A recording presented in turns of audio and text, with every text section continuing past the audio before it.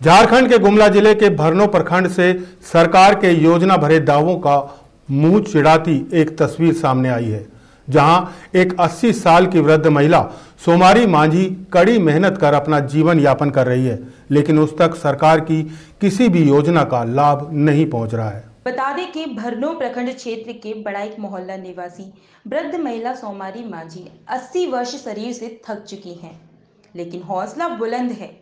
घर घर घूमकर बाँस का सामान बनाती हैं और बेचती हैं और उसी पैसे से अपना जीवन यापन करती हैं। बुज़ुर्ग राशन बुज़ुर्ग का राशन कार्ड नहीं है वृद्धा पेंशन भी नहीं मिलती है।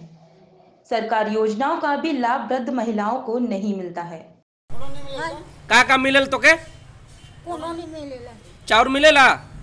चाउरो नहीं राशन कार्ड है? पेंशन मिलेल पेंशन? ब्लॉक से मिलेल पेंशन? आय? पैसा मिलेल पैसा ब्लॉक से? पैसा नहीं मिले एकले रहिस तो पैसा नहीं मिलेला। और तोर छवा मन कोनो देवे ना मिलेला। एक तरफ़ सरकार बड़े बड़े दावे करती है कि वृद्धाओं के लिए अनेक योजनाएँ चलाई जा रही हैं लेकिन इन योजनाओं का लाभ उन तक नहीं पहुँच पाता है। वृद्धा की तस्वीर सरकार के उन दावों को मुँह चिड़ाती नज़र आती है। बहरहाल सरकार लाख दावे कर ले लेकिन वृद्ध महिला की यह तस्वीर दर्द बयां कर रही है। प्रातः दर्पण न्यूज़ के लिए गुमला से अजीत सोनी की रिपोर्ट।